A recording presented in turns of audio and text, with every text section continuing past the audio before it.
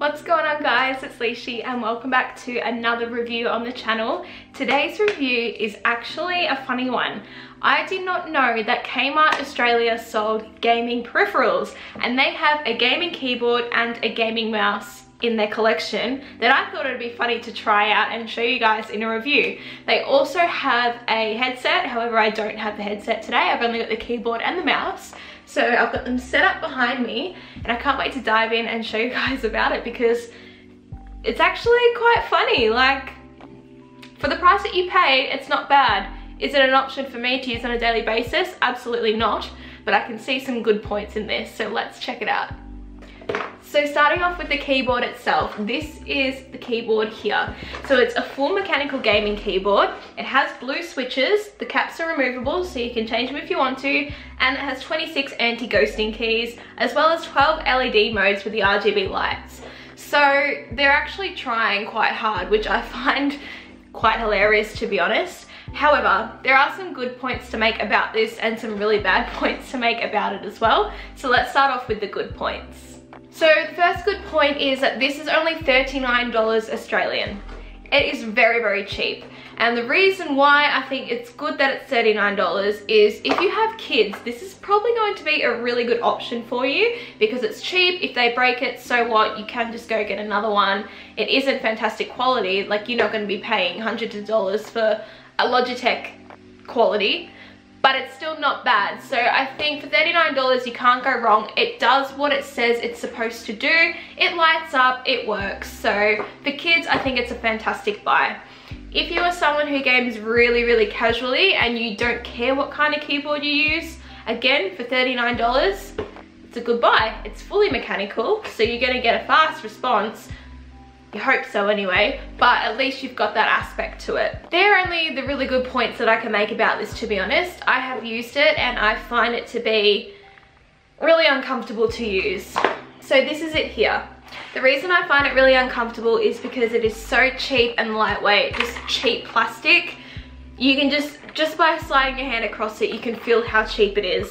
The keys have a slight curve in them as well, so I don't think you're gonna be able to see. I find my finger slips off them and I knock the keys next to it, which is not a fun experience to me. They don't have any grip on them. I think it's just, if your hands are sweaty, your fingers are gonna slide off these. And the font that they have used on the keyboard as well is really ugly. Uh, yeah, look, I'm not really a fan. I just think, you know, you aren't getting what you pay for, to be honest. It's a cheap make, it's just average plastic if you're not too fussed about that, then good, you can buy this. But for me, it's definitely not something that I could see myself playing games with. The good thing is, it is mechanical. You can hear it. It's fully mechanical. It's not horrible in regards to response over click, but again, you're getting what you pay for. It is only cheap. You need to remember that. It doesn't look bad. You can see they've gone for the RGB effect. There are 12 modes as well. So if you press this little button down here, which does have a little light symbol on it, a little globe, it cycles through effects. So apparently there's 12 of them. I'll just shuffle through them now for you. Some of them are quite ugly. Like I couldn't see myself playing games with this effect on.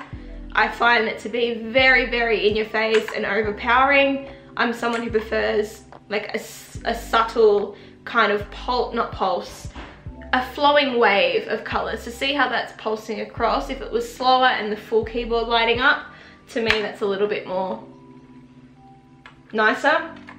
Yeah, I think it's just, it's very, very novelty. So now we're back to the start.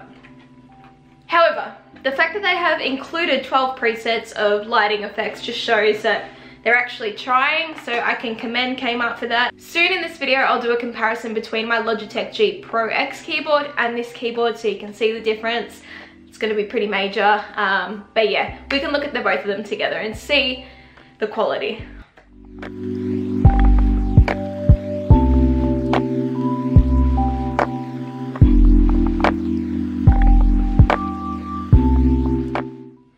This thing is really ugly. I'm sorry, but it is so ugly. I don't know what they've done with this little gem logo. It looks like I'm a Crash Bandicoot or Spyro the Dragon mouse. I don't even know. But they say this is an RGB mouse. It only flicks through red and then purple and blue. So it's not really much. It does have a DPI button on the top of it, so there's four different presets that you can flick through to change the speed of your cursor. So I guess that's handy in a way, but in my opinion, you can't really see the difference between each four presets. So again, kind of useless. It's extremely lightweight, like there is nothing to it. Now, I don't think that's a bad thing when it comes to mice, but it all depends on the plastic. This feels really weird. So you've got a really rough feeling plastic on the thumb rest, but on top of the mouse, it's all smooth plastic. Like, I just kind of feel like if it was one nice texture that would be grippy, I think that'd be better.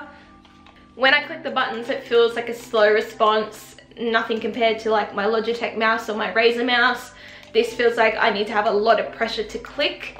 You do have three buttons on the inside as well, so two of them are arrows and one looks, I don't know what that's supposed to be. It's got a target on there as if you're trying to shoot, so I don't know if you can set that function to maybe a shooting button in-game, I don't know, but it looks extremely novelty. Um, and then you've got this ribbed cord, so I mean, this is only $19, so it is extremely cheap. It's a mouse, it does what it's supposed to. However, for gaming, I do not think this is going to be your friend at all. It might be okay for little kids, again, someone who's just getting started on PC, but to me, like this is something I could just probably like throw in the bin and not care about. So here is my Logitech G Pro X keyboard.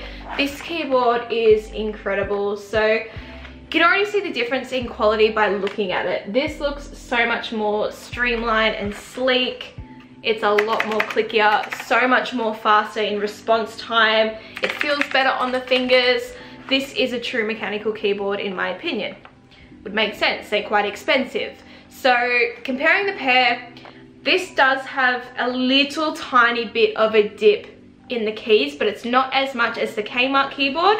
My finger still feels quite flat on this key. I have a good grip. The plastic feels nice on my fingers. It grips my finger. The font is so much nicer on here. I just think that if you're really wanting to invest in a good keyboard for PC games, you have to spend the money. You have to be willing to spend the money because I haven't had the Kmart keyboard long enough to know how long it would last, but I know the Logitech keyboards have lasted me forever. So I am pretty biased though because I do love the brand. However, you can just feel the difference in quality. I'll, I'll have some b-roll of them close up, but yeah, like even in weight, the Logitech keyboard feels a lot more heavier and sturdier than what this feels. I feel like if I if I threw this, it would just break. I'm not gonna throw a keyboard, but it's just so thin and lightweight that I feel like it would just snap. The difference with this keyboard is it is 10 keyless, so it doesn't have the number pad, but at the same time, I don't think that's a bad thing. If you like having a number pad, the Kmart keyboard will be perfect then because it's got that. But for me, I prefer the 10 keyless at the moment. They're smaller, they fit on the desk nicer, and yeah, this is just what I'm used to at the moment.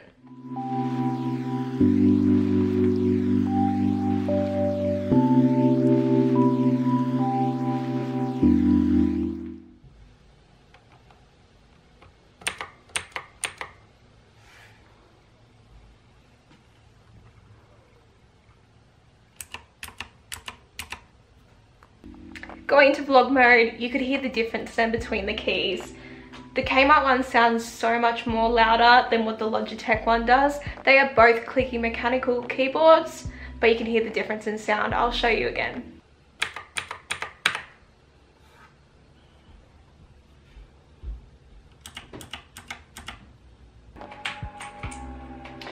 So what I'm finding as I'm playing through Portal, which I've actually never played before, go figure, um, I'm finding that the buttons are quite high. So as I'm moving through with WASD, I feel like they're so high that I'm struggling to move down around them. It's just a personal thing that I'm noticing, but yeah, so far it's not really any good for me. So overall, would I recommend this to you guys? Yes and no. Again, if you're on a really, really tight budget and you do not want to spend money on expensive peripherals, this might get you started. You would need to have a play around with it first, get a feel for it, especially the mouse. If you want something that's gonna be your best friend in FPS games on PC, I don't think that's going to work for you. However, the keyboard you might be able to get away with. I know a lot of people who play games with cheap keyboards and at the end of the day, it's the player. If you can perfect using a certain peripheral, you're going to do it well anyway. So I don't think the keyboard's a bad buy, but the mouse, in my opinion, it definitely is. On the other hand, like I said earlier, this would be perfect for kids. It's going to get them used to using those, these kind of peripherals Hopefully it teaches them to look after their things as well because I don't know about you. When I worked in a gaming store, kids would come in with broken tech, broken controllers, all that stuff all the time because they don't know how to look after their things. And parents are spending hundreds and hundreds of dollars on them. So for a cheaper alternative, you're gonna spend $60 to get a keyboard and a mouse for your kid compared to maybe $300 if you were to go expensive. This might be a good start. What I have noticed as well is that these are selling out. So I had to purchase them online because in store I couldn't find them. The keyboard sold out a few times. I have to wait for a restock. The mouse I could purchase straight away. But yeah, the keyboard I had to really go on the hunt for. So it looks like it's quite popular.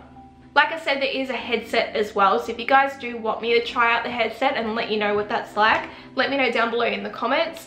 But at this point in time, if no one says they want me to test it, I don't think I'm going to because just it doesn't interest me. I have so many good headsets and I'm going to be getting more good headsets and I don't really want to waste my money. So I'll only check it out if you guys want me to review it for you. So that concludes the video guys. I hope you enjoyed this kind of review. I had fun doing it because it's not often that you can go to a cheaper department store and pick up some gaming peripherals. So I would love to be on the hunt for some cheaper brands and review them for you guys. If you have any other suggestions, let me know in the comments as well.